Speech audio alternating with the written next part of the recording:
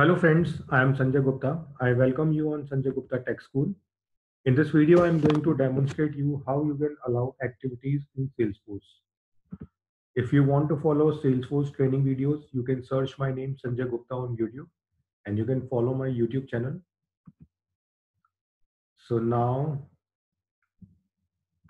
first I'm going to open my university app where various tabs are available so let's first understand what activity is.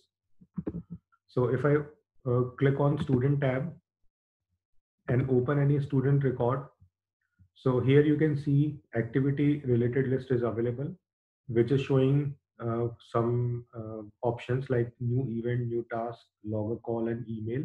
So uh, you can uh, create new event like if you click on add so here various uh, fields are available, subject start and all day event, name related to, assigned to, location. So if you fill all these details and click on save. So a new task will be created, sorry, new event will be created and it is shown here. So these are the details about the event, right? If you click here, so it will show all the details. Then it is showing past activities. So past meetings and tasks marked as done show up here. Similarly, you can create new tasks by filling the fields which are available here. And you can click on save. Then if you click on log a call, so you can do this by filling these on information. Then if you want to send an email, so you can fill these details and click on send so that an email can be sent. Right now, if we move to employee employee tab and open any record, so here you will see activity related list is not available. So now we need to learn how we can enable activities for a particular object like uh, that is available for a student.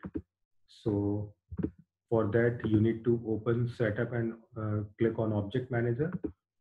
And first I'm searching for student object, opening this.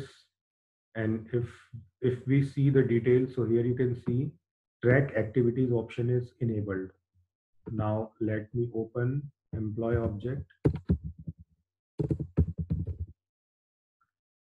So if I open employee object and see the details, so here you can see track activities are not enabled. So now I'm clicking on edit, scrolling down and in optional feature, you can see an option is available, allow activities. So I'm clicking uh, to enable it.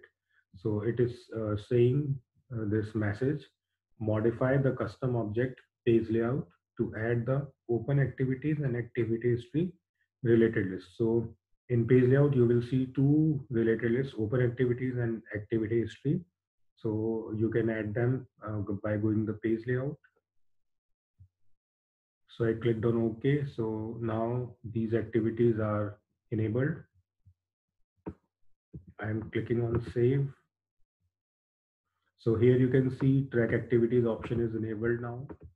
So again, I'm on employee record and I'm doing a refresh so that that action that we modified right now will be enabled. So doing refresh again. So at times uh, due to cache problem, the changes will not reflect so you need to do multiple refreshes. So now you can see we are on employee tab on employee record and this activity is enabled now. So you can create new events, task, log a call and email. So these options are available and you can perform whatever operation you want to do. So I hope you understood how we can enable activities for uh, objects by going into setup and modify the details of that uh, particular object. So I hope you understood whatever I demonstrated in this video. If you want to follow Salesforce uh, training videos, you can search my name Sanjay Gupta on YouTube and you can follow my YouTube channel. Thank you for watching this video.